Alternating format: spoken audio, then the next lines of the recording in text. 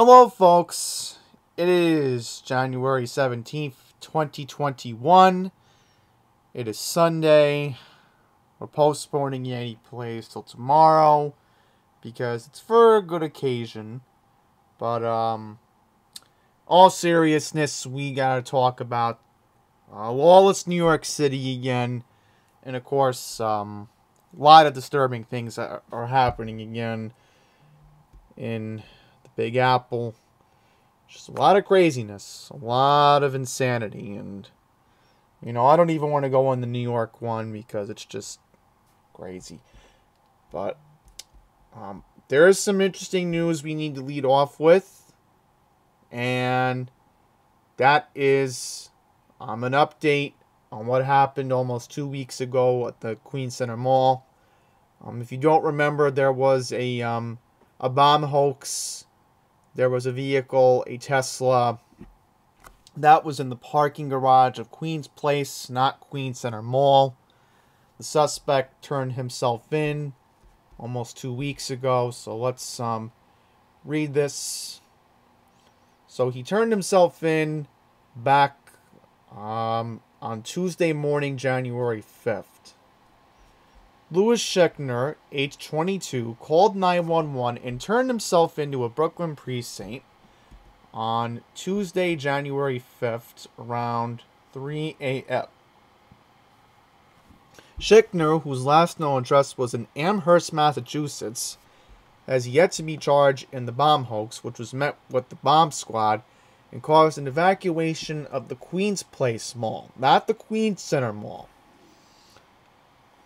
So, there was an alleged black Tesla Model S stolen. It was reported at 7:30 a.m. back on Monday, January 4th, 2 weeks ago. The vehicle was spotted with protruding wires inside the Elmhurst Mall parking lot. Investigators then found the suspicious vehicle the NYPD sealed off several blocks. So we don't really want to um, recap the whole thing. So um, there was a dog rescued. It was a husky dog. We don't really want to get into that. Hmm.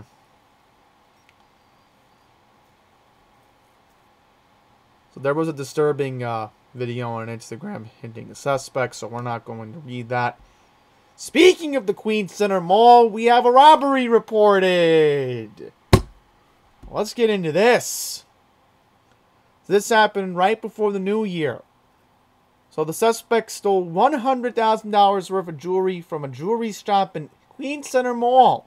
The incident happened at December 28th at 10:15 a.m. An unidentified man broke into this closed sale jewelry store located at 90-15 Queens Boulevard. With no one inside, the man removed approximately $100,000 worth of items from the store and fled on foot in an unknown direction. Police described the male suspect as being 20 and 30 years old. So, uh, officers on the 110 precinct have surveillance footage of the suspect from camera near the store. So, looks like this could be the parking garage. Of course, no arrests have been made. The investigation is ongoing. Anybody who has crime tips can call 800 577 TIPS. In Espanol, 888 57 74782, which is Pista public can also submit their tips by logging on the Crime Stoppers and NYPDCrimeStoppers.com or on Twitter at NYPD Tips. So, yep, robbery reported at Queen Center Mall a week before the, the, the fake bomb incident. All right, so let's get into what happened on the BX 36. Um, back on Thursday morning wee hours of Thursday morning going into Friday, um, there was an incident involving the BX 36 bus, an accordion style bus, as you can see here on your screen right now. The bus was hanging over University Place and the Cross Bronx Expressway. We do know the bus was heading towards the George Washington Bridge Bus Depot in Washington Heights. The driver has come forward claiming that he does not do drugs. Okay, so the identity of the bus driver is Everton Bacon, 55 years old. So he backed up his claim with paperwork from St. Barnabas Hospital, indicating his urine specimen was received at 10:33 a.m. on Friday, after 11 hours after the crash. So, obviously, we want to go into details about what happened. Okay, here we go. So this is the story. This is what I want to read.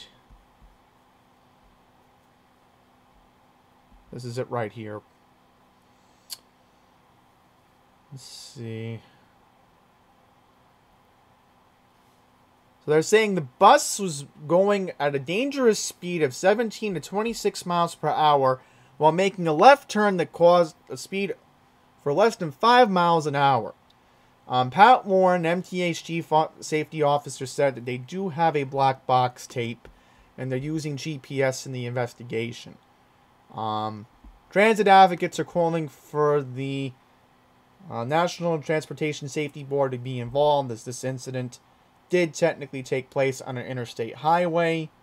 So there is a chance they might get involved here. So. Yes, okay. Let's see if this is the more specific article. I want to go into the more specific article. Here it is. Okay. Nine reported hurt when the crash sends bus dangling over the Cross Bronx Expressway. Nine people were taken to hospitals late Thursday when a tandem MTA bus veered over an overpass in the Bronx towards the Cross Bronx Expressway, authorities said. Shocking photographs and video posted to Twitter showed the blue articulated bus suspended over the expressway from an overpass on University Avenue just east of the major Deegan Expressway and the Harlem River. So I was taking a look at traffic cameras when this first happened. And I noticed that the Cross Bronx didn't have any issues. So this is a separate overpass from what I made out. The crash happened just before 11:10 p.m. Um, at this particular time, we do not know what caused the bus to lose control. So they did shut down the New Jersey bound lanes of the Cross Bronx Expressway, which is, of course, one of the most busiest in the United States, of course. So, six people were slightly hurt, two suffered serious but non life threatening injuries, and one person was hurt critically, said a fire department spokesperson. All were taken to area hospitals, the FDNY said. So, yep. Now we're going to get to something even crazier than a bus hanging over the Cross Bronx Expressway. So this happened at the Central Park 110th Street station. A naked man, yes, you heard me correctly, naked man was pushed onto the subway track in the third rail. Alright? Do you know how disturbing this is? And by the way, um, if you follow me on Twitter at Andy's Randomness, Progressive Action tweeted a video of um, the aftermath of what happened. So I'm not going to show the video on here because it's disturbing. So again, I would suggest to just try to read this daily news article for yourself. Um, I'll link in the description below. That way, um, you can see it. I'll just this will probably be only in the description below. This link, because you can watch the video yourself. So, this happened in Harlem. Back on Saturday, January 16th. A naked, emotionally wrought man was electrocuted on a subway third rail after he shoved the man onto the tracks and jumped down himself to prevent the man from being rescued. The man who shoved to the tracks and a good Samaritan tried to rescue were saved. Around 4 p.m., the crazed man, completely unclothed despite the January chill, appeared on the platform at the Central Park North 110 Street station and began parading and dancing next to random people, said a witness who made a video of the incident. He came up to dance on me, but I told him to get lost, said the witness, who said he'd seen a naked man at the station before and he believed to be homeless. Next, the naked man fought another person on the platform and began dancing next to him. Yeah, so, butt naked, of course. The man felt disrespected, so he squatted up like he was going to fight the naked man, said the witness. When he, the naked man, said he wanted to fight, he said he started hitting him like crazy. A train approached the station. The man just lost his balance and the naked man was able to push him into the train, said the witness. He fell in a way that knocked him temporarily unconscious. And then thankfully the train did stop in the nick of time. It says it uh says it right here. See? When another strap hanger jumped down to the tracks to save the shoving victim, the naked man jumped down to the tracks after him. The naked man scuffled with the rescuer, said the witnesses. The Good Samaritan, angry at having his rescue efforts interrupted, just whacked the helm out of the new man, said the witness. It was a heavy punch. That's when the naked man fell. The naked man hit his shoulder against the third rail, said a second witness. The third rail carries 625 volts of electricity, more than enough to kill anyone instantly. I don't even want to think about it. He didn't die with any pain, though. He died immediately, and shock was just too much. Police did confirm the incident along with progressive action and said no one involved was charged. So, trust me, if progressive action's confirming this, then you know this is legitimate. Jamel Thompson would not let information like this not be true. Alright, so thanks to the Daily News and thanks to Jamel Thompson for covering this, of course. Crime in Staten Island, sadly to report, happened on Saturday night. Yep, the 16th. Someone armed with a rifle at around 7.45 p.m. at 937 Van Duzer Street in Gram Grymes Hill, said the cops. The authorities believe that this home is addressed to Demolo Studios, a music recording studio house in a wood frame building. The gunman was at the door, fired a bullet into the man's back, police said. The victim was rushed to an area hospital to be treated for a life threatening injury. This is Staten Island. They probably took from Staten Island University Hospital, most likely. The age was not given, of course, of the victim. Detectives canvassed the neighborhood for information late Saturday night. Demolo says on its webpage it's a recording site for hip hop artists Snoop, Bigelow, and Bro God. It rents out its services. So now we're going to move on to this sad story. Let me just close out the stories that I read so that way I don't get confused. Here we go. I have to sadly report that another disturbing incident happened at Crocheron Park. Now, no, this is not the fake doll hoax that we all remember.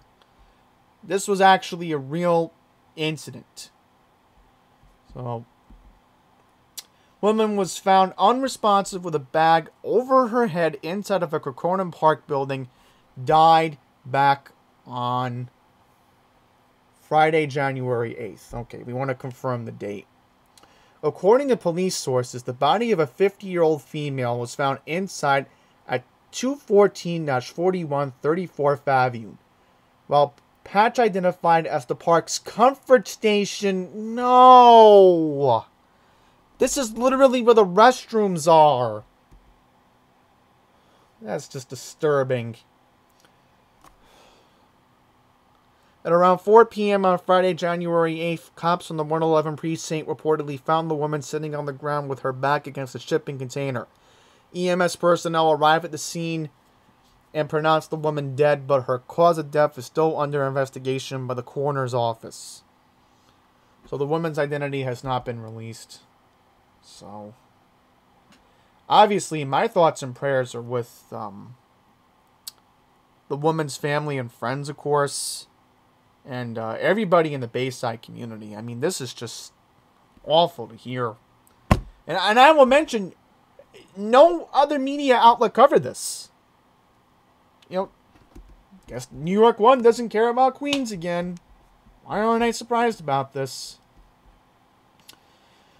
But at least the media did cover this. There was a suspicious incident reported in Queens Village, so a lot of scary things are happening in Queens Village lately. Police arrest man suspect of fatally stabbing his father, poisoning three other family members in Queens Village. Police arrested an emotionally disturbed 30-year-old male who was believed to be have stabbed his father to death and possibly poisoned three other members of his family early Thursday morning in Queens Village. Initial reports from the fire department sources indicated the emergency call, which came in at around 6:30 a.m. back on Thursday, January 14, 2021, at an apartment building at 221 15 Hempstead Avenue with a possible chemical suicide. Officers from the 105th Precinct initially responded to the location after receiving a 911 call about an emotionally disturbed person. Upon arriving at the scene, police reported that they observed Jamie Walker, who believed to be the subject of the call, acting erratically in the hallway. Walker told officers that he had hurt somebody inside the apartment, according to the NYPD. Shortly after entering the home, police said the officers found Long Meadows Walker, age 72, who believed to be the suspect's father, unconscious with multiple stab wounds laying on the floor of the apartment bedroom. Responding EMS units pronounced him dead at the scene. Meanwhile, law enforcement officers said officers found three people a 70 year old woman believed to be Walker's mother, a 31 year old man believed to be his brother, and a 29 year old woman believed to be the brother's wife unconscious, unresponsive, laying on a mattress inside the living room. EMS units brought them more to Long Island Jewish Medical Center in New Hyde Park in critical condition.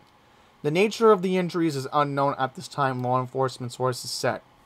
Walker was taken into custody on Thursday morning back on January 14th and was being evaluated at a nearby hospital, according to authorities. Police have not yet released the name of the injured family members. The fire department determined that there were not high levels of carbon monoxide inside the residence. Additionally, the NYPD Emergency Response Unit conducted a test of the air and found no irregularities, according to the police. Prior to Thursday morning's incident, there have been no 911 calls made about any domestic violence or emotionally disturbed people. And this investigation is being conducted by the 105 Precinct Detective Squad. Alright, so let's uh, move on to our last couple of stories. Cop seek duo who punched a robbed man in Flushing. The NYPD is looking for a duo who assaulted and robbed a man in Flushing last month. On Wednesday, December 23rd at around 11:30 p.m., two unidentified men approached a 21-year-old male who was standing at the corner of College Point Boulevard and Roosevelt Avenue. Seemingly at random, the two men punched the man in the face and stole $10 from him, cops said. The duo ran eastbound on the Roosevelt Avenue and into a residential building located at 40 05 College Point Boulevard. The 21 year old male was taken to Elmhurst Hospital in stable condition with swelling and bruising to his face. No arrest had been made, the investigation is ongoing. Long Island City. Man, I don't know what is going on in Northwest Queens lately. Knife wielding assailant slashes hotel worker in Long Island City. The NYPD is looking for a man who allegedly cut a hotel worker with a knife in Long Island City back on Sunday, January 10th, 2021. Around 6:15 a.m., a 33-year-old male hotel worker was in the hotel lobby of La Quinta Inn at 37-18 Queens Boulevard when he was approached by an unidentified man loitering in the building. The hotel worker stepped out from behind the reception desk where he was working to hand the man a bottle of water. The man grabbed the water bottle, took out a knife, lunging towards the hotel worker. The two began to struggle, and the loitering man slashed the hotel worker with the knife, cutting his hands and left ear. Eventually, the hotel worker made it back behind the reception desk and was able to close the door separating the desk from the rest of the lobby. The unidentified man walked out of the hotel and fled in an unknown direction. The hotel worker was transported in a stable condition to New York City Health Hospital's Elmhurst. So sadly, we do have surveillance video of what happened back on January 10th. So here we go.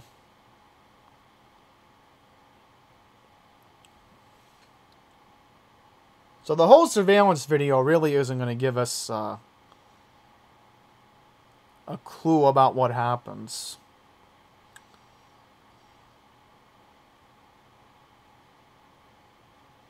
And and by the way, let's randomly bring up Trader Joe's is opening in Long Island City. So where are they planning on opening this? Just curious. So open between the spring and summer of this year.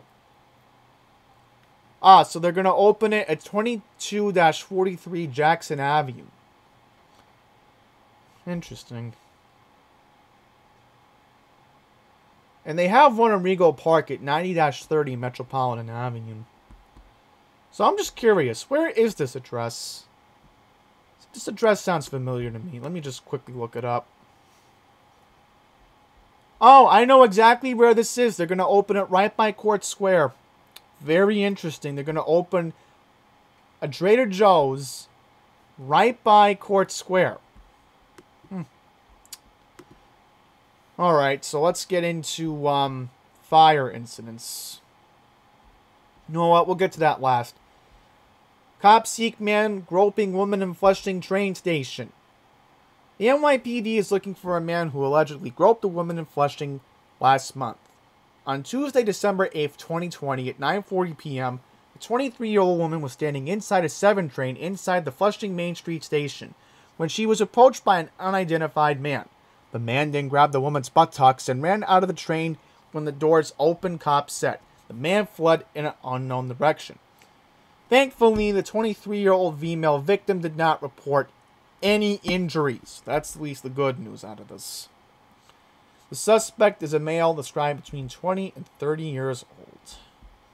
There's a quick surveillance video of him.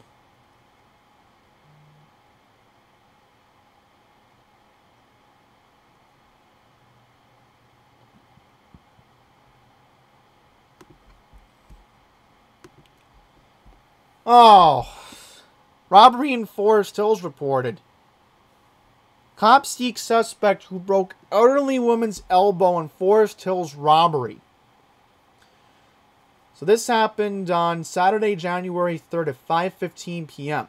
An 83-year-old woman was walking on the sidewalk in front of 112-01 Queens Boulevard when an unidentified man got out of a dark-colored SUV and approached her. The man then grabbed the woman's purse and threw her to the ground. The man then got back in the car and drove off with the purse, which contained around $50, an ID, credit cards, and an iPhone. EMS personnel took the 83 year old woman to New York Presbyterian Hospital, Queens Flushing, when she was treated for a broken elbow. The suspect then later used the woman's stolen credit card at a deli in Manhattan at 187 East 167th Street. So they do have surveillance video, and no arrests have been made. So um, they do have surveillance video, supposedly of the suspect. So just again, why aren't I surprised this is going on in de Blasio city? And look at this guy. He easily wants to get caught. I mean, look at him just look right into the camera. I mean, that's just creepy as it is. And you know why they're able to track him? Because if he's using a stolen credit card anywhere else, they're going to track it. I mean, that's obvious.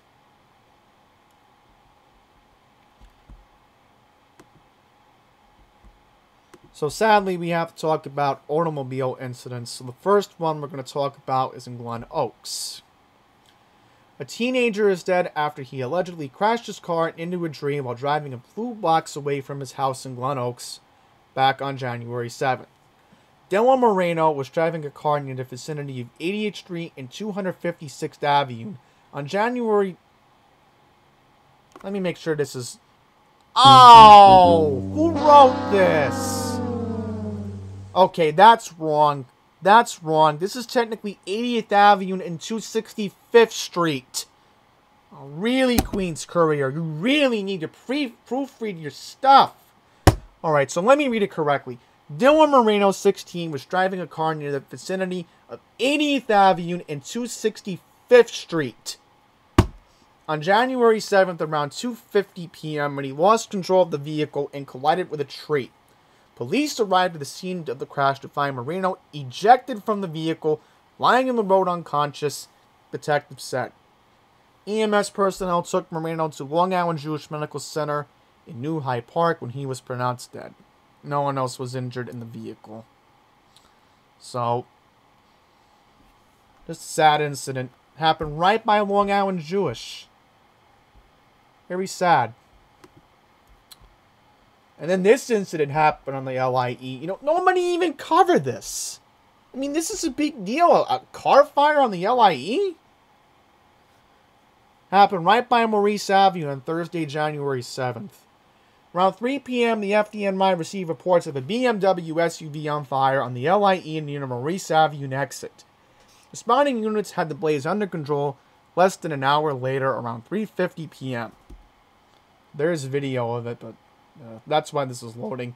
We do have a picture of it. You know, see that? This is a BMW, right? Yeah, this is a BMW. I can tell by the body. See?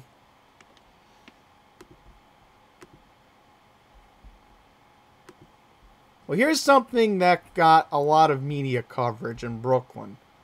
And even Loud Labs covered this. So this was a multi uh, multi-level fire. Multi-alarm level fire. So this happened in Brooklyn at 244 Montrose Avenue. So this happened back on January 14th. Okay, so it happened at 6:10 p.m. on the second floor of the building near Bushwick Avenue in East Williamsburg. The fire quickly spread, burning through the third floor and the roof and damaging four adjacent apartment buildings. wow, so this is uh this is crazy.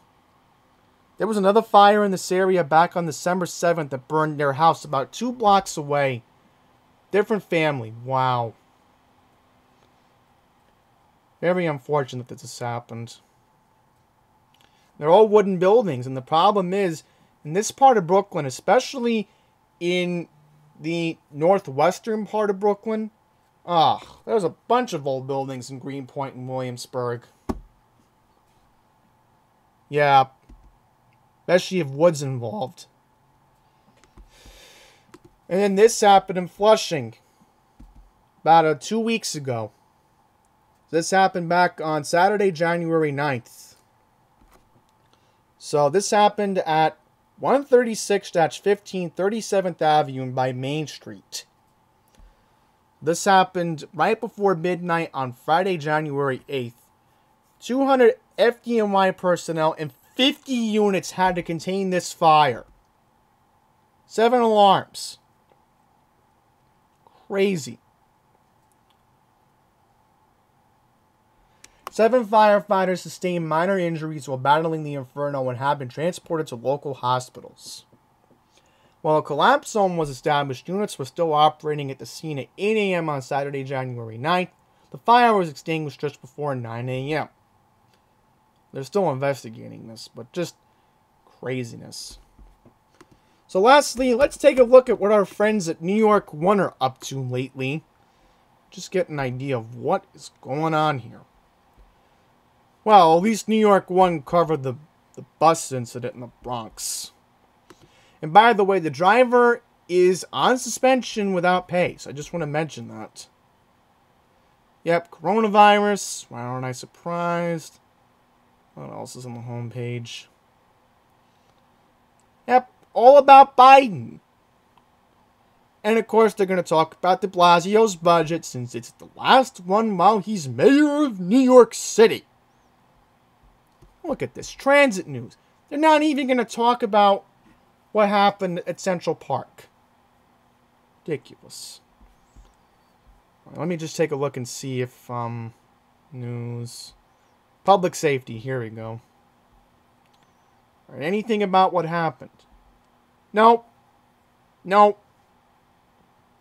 Nope. Nothing. All politics. Well, this is notable. I'll read this if I get the chance. Anything else? I just want to see. Oh, Here's some good news. They actually shut down the hotel in Kew Gardens I mentioned on New Year's um New Year's Day. Yeah, and there was a chokehold incident, but you know the media forgot about that one, which I'm not even gonna get into. I'm not even gonna get into. Alright, lastly, let's just take a look at Queens. Anything else? Wow, this is nothing about Queens. Look at this.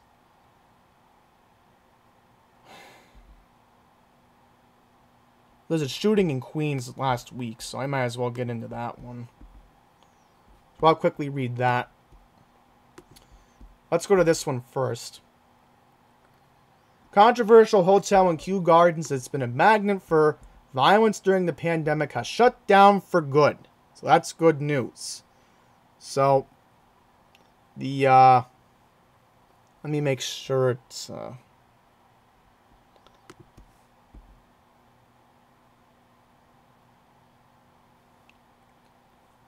They won't even mention the name of the hotel that was involved. Let me just play what. Let me play the video. Uh, hang on. I have it right here. Let me just put my uh, channel logo up for a second. I'm just gonna pull it up. I don't want you to see my. Uh, I don't want you to see my dad's account. That'd be bad. Okay, let's see if I can play it now. Let's see if they even bring up the name of the hotel. Hey, hey! Ho, ho! Umbrella Hotel has got to go! Despite large signs on its windows that say Hotel Open, the notorious Umbrella Hotel on Queens Boulevard is now closed, with several police officers blocking anyone from getting in. It made people upset. Lisa Polioni of Kew Gardens was among the two dozen neighborhood activists came to this rally Saturday outside the hotel. Well, at least they covered this for two minutes. Alright, let's get into this one. Shooting in Queens. No video about that. Alright, so this happened uh, back on January 8th. A shooting happened at 64th Street near 53rd Drive. Uh, the chief of detectives, Terrence Monahan, said the department received a call at the time of a family member who was hallucinating and destroying the basement. The man had already been hospitalized and released earlier in the day. This is according to Chief of Detectives Terrence Monahan. Uh, the officers arrived and tried to convince the man to go to the hospital. He said one of the man's family members also tried to convince the man to go to the hospital. The man then pulled out a knife and was not going back to the hospital and lunged at the officers. The man is currently in critical condition. Monahan said in addition to the hospitalization earlier in the day, the man was also hospitalized on Wednesday.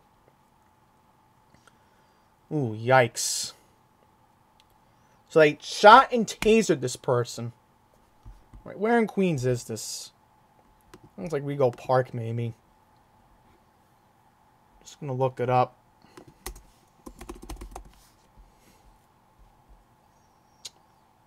Yeah, I think this is Maspeth. Oh, yeah, this is Maspeth. Yep, no surprise. No surprise this is happening in Maspeth. 64th Street near 53rd Drive, right?